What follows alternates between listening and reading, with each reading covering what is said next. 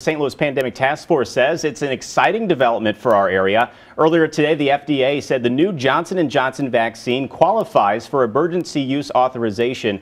News 4's Jenna Ray tells us what's next and what this means for our region.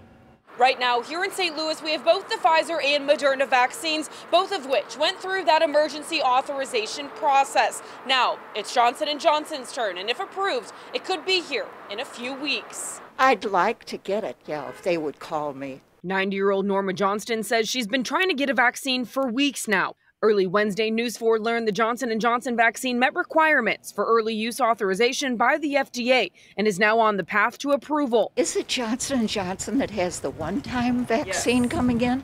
That sounds great. I would vote for that.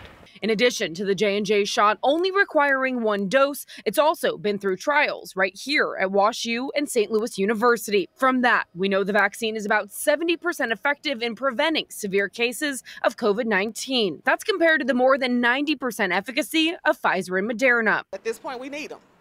It's a matter of life and death. Like we've had a half a million people die so far just in this country alone.